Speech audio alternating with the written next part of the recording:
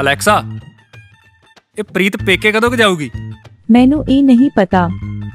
ਜਿੱਦਣ ਤੈਨੂੰ ਪਤਾ ਲੱਗ ਗਿਆ ਨਾ ਮੈਂ ਸਭ ਕੁਝ ਛੱਡ ਕੇ ਤੈਨੂੰ ਪੂਜਣ ਲੱਗ ਜਾਊਂਗਾ ਅਲੈਕਸਾ ਪਲੇ ਕਰਤਾਰ ਰਮਲਾ। ਮੇਰਾ ਸਿਰ ਦੁਖਦਾ ਹਾਏ ਕਹਿੰਦੀ ਮੇਰਾ ਸਿਰ ਦੁਖਦਾ ਉਹ ਨਾਲੇ ਅੱਜ ਮੇਰਾ ਮੂਡ ਤੁਹਾਨੂੰ ਪਤਾ ਹੈ ਸਾਰਾ ਦਿਨ ਮੇਰੇ ਕੋਲ ਸਾਹ ਲੈਣ ਦੀ ਫੁਰਸਤ ਨਹੀਂ ਹੁੰਦੀ। ਤੇ ਇਸ ਬੰਦੇ ਨੇ ਸੋਨੇ ਦੀ ਚੈਨ ਤਾਂ ਕੀ ਲੈ ਕੇ ਦੇਣੀ? ਮੈਨੂੰ ਚੈਨ ਨਾਲ ਸੁੱਤੀ ਪਈ ਨੂੰ ਚੈਨ ਨਾਲ ਨਹੀਂ ਸੌਣ ਦਿੰਦਾ। ਤੇ ਤੁਹਾਨੂੰ ਪਤਾ ਹੈ ਉੱਤੋਂ ਮੇਰੇ ਤੇ ਇਲਜ਼ਾਮ ਕੀ ਲਾਉਂਦਾ ਹੈ ਕਿ ਮੈਂ ਚੈਨ ਨਾਲ ਸੁੱਤੀ ਰਹਿਣੀ ਆ ਦੇਖ ਪੁੱਤ ਤੂੰ ਗੱਲਾਂ ਦਿਲ ਤੇ ਨਾ ਲਾਇਆ ਕਰ। ਮੰਮੀ ਦਿਲ ਨਾਲ ਕਿੱਥੇ ਲਾਨੀ ਆ ਇਹਦੀਆਂ ਗੱਲਾਂ ਤੇ ਸਿੱਧੀਆਂ ਮੇਰੇ ਦਿਮਾਗ 'ਚ ਵੱਜਦੀਆਂ ਨੇ ਸਾਰਾ ਦਿਨ ਮੇਰੇ ਸਿਰ ਪੀੜ ਹੁੰਦਾ ਰਹਿੰਦਾ ਆ ਕੋਈ ਨਾ ਪੁੱਤ ਪੇਨ ਕਿਲਰ ਲੈ ਲੈ। ਮੰਮੀ ਤੁਸੀਂ ਡੈਡੀ ਨਾਲ ਬਹਿਸ ਕਰਨ ਤੋਂ ਬਾਅਦ ਪੇਨ ਕਿਲਰ ਲੈਂਦੇ ਹੋ? ਨਹੀਂ ਪੁੱਤ ਸਾਡੇ ਵਿੱਚ ਹੁਣ ਬਹਿਸ ਨਹੀਂ ਹੁੰਦੀ। ਹਾਏ ਮੰਮੀ ਤੁਹਾਡੇ ਦੋਵਾਂ 'ਚ ਕਿੰਨੀ ਅੰਡਰਸਟੈਂਡਿੰਗ ਹੈ ਨਾ? ਅੰਡਰਸਟੈਂਡਿੰਗ ਦੀ ਗੱਲ ਨਹੀਂ ਹੁਣ ਬਹਿਸ ਦੀ ਜਗ੍ਹਾ ਅਸੀਂ ਕੁੱਟਮਾਰ ਕਰ ਲੈਨੇ ਆ ਹਾਏ ਮੰਮੀ ਡੈਡੀ ਤੁਹਾਨੂੰ ਕੁੱਟਦੇ ਨੇ? ਨਹੀਂ ਪੁੱਤ ਮਾਰਦੀ ਤਾਂ ਸਿਰਫ ਮੈਂ ਆ ਉਹ ਤਾਂ ਕੁੱਟ ਖਾਂਦੇ ਨੇ। ਪਰ ਮੰਮੀ ਮੈਂ ਤਾਂ ਸੁੱਖ ਨੂੰ ਮਾਰ ਵੀ ਨਹੀਂ ਸਕਦੀ। ਦੇਖਿਆ ਇਹਨੂੰ ਕਹਿੰਦੇ ਨੇ ਸੰਸਕਾਰ। ਮੰਮੀ ਸੰਸਕਾਰ ਵੰਸਕਾਰ ਦੀ ਕੋਈ ਗੱਲ ਨਹੀਂ ਹੈਗੀ। ਅੱਜ ਮੇਰੇ ਹੱਥ ਬਹੁਤ ਦੁਖਦੇ ਪਏ ਨੇ ਕੱਪੜੇ ਸੁੱਕਣੇ ਪਾਏ ਸੀ।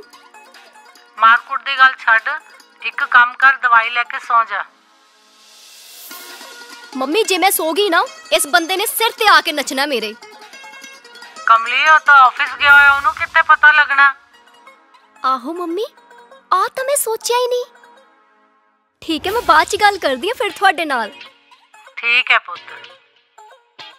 ਕਮਲੀਏ ਸੋ ਜਾ ਤੂੰ। ਕਦੇ ਕਦੇ ਮੰਮੀ ਵਧੀਆ ਗੱਲ ਕਰ ਜਾਂਦੀ ਹੈ।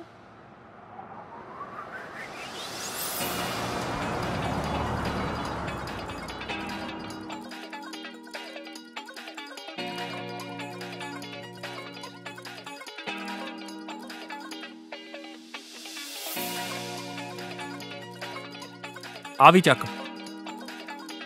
ਕਰਦੇ ਪੈਕ।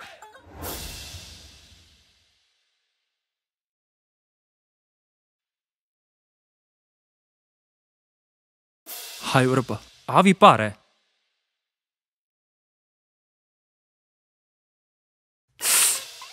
ਇਹਦੀ ਤਾਂ ਜ਼ਿਆਦਾ ਹੀ ਸੱਟ ਵੱਜਦੀ ਹੈ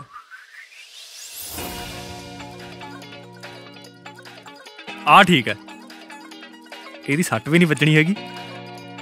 ਸਫ਼ਾਈ ਵੀ ਸੌਖੀ ਹੋ ਜੂ। ਚੱਲ ਫਿਰ। ਹੈਲੋ ਹੈਲੋ ਹਾਂਜੀ ਬੌਸ। ਕਿੱਥੇ ਆ ਸੁਖ? ਬਸ ਜੀ ਆਫਿਸ ਪਹੁੰਚਣ ਲੱਗਿਆ ਥੋੜਾ ਘਰ ਦਾ ਸਮਾਨ ਲਈ ਜਾਂਦਾ ਸੀ। ਮੈਂ ਰਿਮਾਈਂਡ ਕਰਾਉਣ ਲਈ ਕਾਲ ਕੀਤਾ। ਹਾਂ ਹਾਂ ਜੀ ਤੁਸੀਂ ਜਮਾ ਟੈਨਸ਼ਨ ਨਾ ਲਓ। ਪੱਕਾ ਨਾ? ਮੈਂ ਕਿਹਾ ਜੀ ਲੰਚ ਬਾਕਸ ਮੈਂ ਚੱਕ ਲਿਆ। ਰਾਤ ਬੱਕਰਾ ਬਣਾਇਆ ਸੀ ਤੜਕੀ ਉਹਨੂੰ ਤੜਕਾ ਲਾ ਕੇ ਲੈ ਕੇ ਆ ਰਿਹਾ। ਉਹ ਬੇਵਕੂਫਾ ਮੈਂ ਲੰਚ ਬਾਕਸ ਦੀ ਗੱਲ ਨਹੀਂ ਕਰ ਰਿਹਾ ਮੈਂ ਪਾਰਟੀ ਦੀ ਗੱਲ ਕਰ ਰਿਹਾ। ਪਾਰਟੀ ਕਿੱਥੇ? ਮੇਰਾ ਮਤਲਬ ਤੁਸੀਂ ਫਿਰ ਪਾਰਟੀ ਕਿੱਥੇ ਦੇ ਰਹੇ ਹੋ? ਓਏ ਉਹ ਵਾਲੀ ਪਾਰਟੀ ਨਹੀਂ ਅੱਜ 11 ਵਜੇ ਕਲਾਇੰਟ ਮੀਟਿੰਗ ਹੈ। ਕਲਾਇੰਟ ਨਾਲੇ ਪ੍ਰੈਜੈਂਟੇਸ਼ਨ ਤਿਆਰ ਹੈ ਨਾ? ਪ੍ਰੈਜੈਂਟੇਸ਼ਨ ਦੀ ਤੁਸੀਂ ਜਮਾ ਟੈਨਸ਼ਨ ਨਾ ਲਓ। ਉਹ ਤੇ ਮੇਰੀ ਪੂਰੀ ਅਟੈਂਸ਼ਨ ਹੈ। ਫਾਈਲ ਮੈਂ ਚੱਕ ਲਈ ਹੈ। ਛੇਤੀ ਆ ਜਾ। ਮੈਂ ਬਸ ਦਫ਼ਤਰ ਪਹੁੰਚ ਗਿਆ ਜੀ। ਇੱਕ ਮਿੰਟ ਤੁਸੀਂ ਹੋਲਡ ਕਰੋ ਮੈਂ ਹੁਣੇ ਫਾਈਲ ਚੈੱਕ ਕਰ ਲੈਣਾ ਹੋਲਡ ਰੱਖੋ।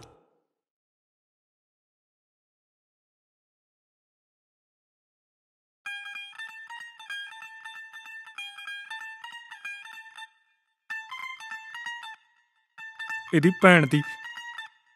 ਵੱਜ ਗਈ ਬੈਂਡ। ਕੀ ਕਿਹਾ? ਉਹ ਕੁਝ ਨਹੀਂ ਜਨਾਬ ਕੁਝ ਨਹੀਂ। ਉਹ ਰਾਹ ਚ ਆ ਰਿਹਾ ਸੀ ਨਾ ਯਾਰ ਦੋਸਤ ਦੀ ਭੈਣ ਦਾ ਵਿਆਹ ਸੀਗਾ। ਤੇ ਉੱਥੇ ਬਰਾਤ ਹੋਣੇ ਹੋਣੇ ਪਹੁੰਚੀ ਆ ਜੀ ਭੈਣ ਵਾਜੇ ਵੱਜੀ ਜਾਂਦੇ ਆ ਜੀ ਪੂਰੇ। ਮੈਂ ਕਿਹਾ ਰੌਣਕਾਂ ਲੱਗੀਆਂ ਪਈਆਂ ਨੇ। ਜਨਾਬ ਨੱਚੋ ਤੁਸੀਂ ਵੀ ਆ ਦੇਖੋ ਸੁਣ ਰਹੇ ਹੋ ਤੁਹਾਨੂੰ? ਇੱਥੇ ਤਾਂ ਬੀਨ ਭੂਤ ਭੰਗੜਾ ਪੈਣ ਲੱਗ ਰਿਹਾ ਜਨਾਬ ਕਿੱਦਾਂ ਦੀ ਗੱਲਾਂ ਕਰੀ ਜਾਂਦੇ ਹੋ? ਕੰਪਨੀ ਦੀ ਬੈਂਡ ਨਾ ਵਜਾ ਦੀ ਤੈਨੂੰ ਰੱਖ ਕੇ ਗਲਤੀ ਕਰ ਲਈ। ਮੈਂ ਆ ਗਿਆ ਜੀ ਬਸ ਪਹੁੰਚਣ ਲੱਗਿਆ ਹੁਣੇ ਆਫਿਸ ਨਾ ਬਸ ਆ ਗਿਆ ਜੀ ਨਹੀਂ ਵੱਜਣ ਦਿੰਦੇ ਬੈਂਡ। ਛੇਤੀ ਆ।